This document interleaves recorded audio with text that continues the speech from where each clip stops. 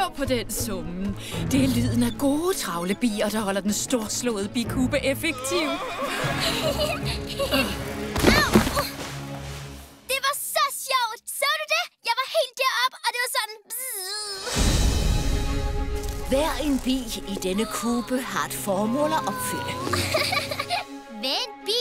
En bi er en god lille pige, der gør, som hun får fortalt. Men er det ikke en smule fjollet? Ingen plads i den her kube til ballademager. Jeg har forladt bikuben, og jeg kommer aldrig nogensinde tilbage. Wow! Wow!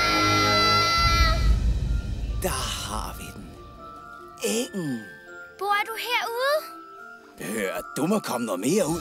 Masser af insekter bor herude på engen. Store, små, sjove og stinkende. Øh. Bikuben er i stor fare. I dag brød Vepse ind og stjal den royale nektar. Nipse! Der! Jeg kommer og redder dig, Maja!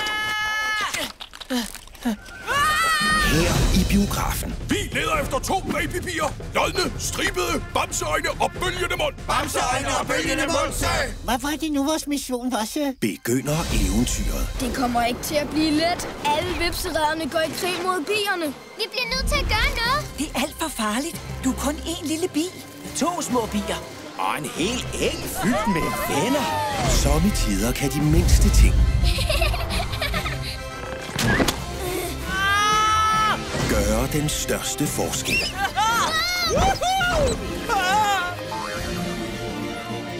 I må bare stole på mig. Ja! Bien Maja. Anne, hey, Anne, se, lodden, stribet, bamseøjne og bølgende mund. En humleflue! Nej, en bi. Ja, en bi! En bi. En bi! Summer ind i biograferne 2016.